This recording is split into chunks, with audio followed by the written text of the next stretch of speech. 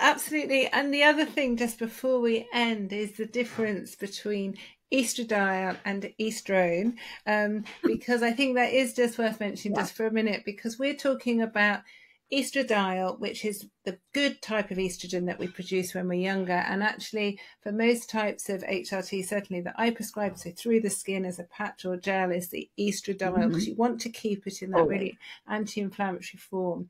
But there are other forms of estrogen, and certainly when it's taken orally, it can convert to estrone, which is a less common type of estrogen when we're younger, but we get more estrone as we become menopausal because we have less estradiol.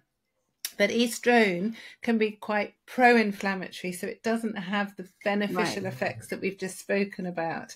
And this can be some of the confusion where HRT increases risk of heart attacks um, because of the estrone, but also the synthetic progestogens, which um, again, progesterone is very calming, very anti inflammatory, but the synthetic ones don't have the same biological properties.